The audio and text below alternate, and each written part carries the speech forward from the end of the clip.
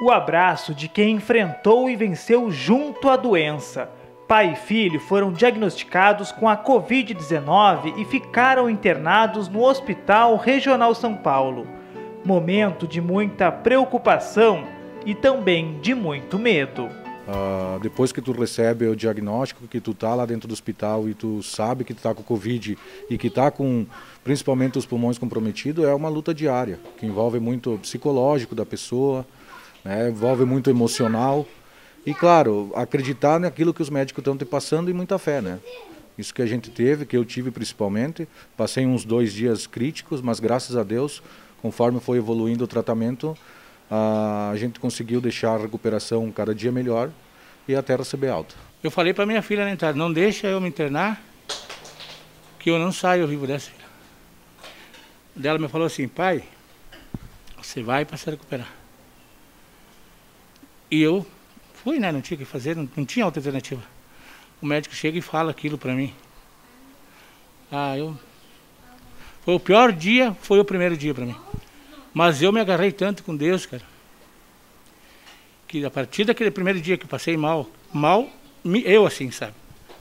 Porque eu não tinha força, eu vi que eu não ia ter força para aguentar. Valdir foi o primeiro a chegar no hospital. Ficou 20 dias internado o Tiago 11 dias. Os dois chegaram no hospital com cerca de 75% dos pulmões comprometidos. Mas a preocupação de Tiago era ainda maior.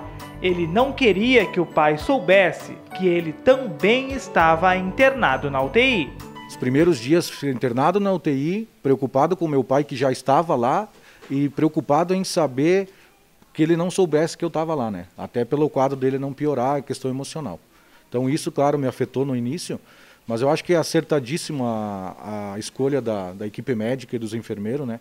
De fazer com que a gente se encontrasse lá dentro, mesmo os dois na UTI, né?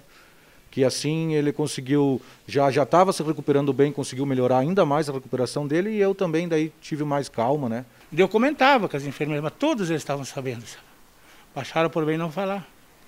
Aí eu disse, meu Deus, que... Aí naquilo de manhã chega o médico e me fala, ó, oh, tá bem, seu Valdir, Continua assim que o senhor vai subir para o quarto. 30 minutos depois, vem dois médicos e umas oito enfermeiras, tudo junto. Ali o mundo desabou para mim.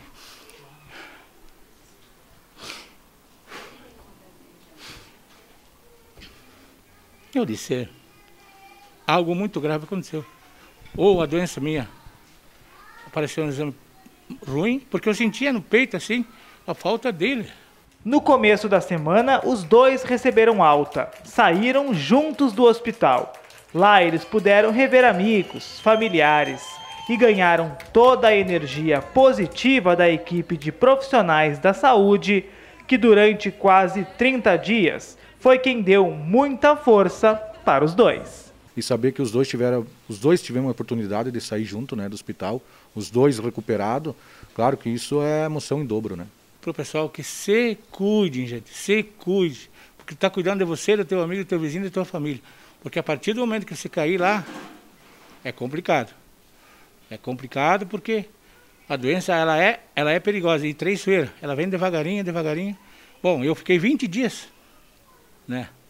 Então veja bem, isso que eu não preciso ser entubado, nada.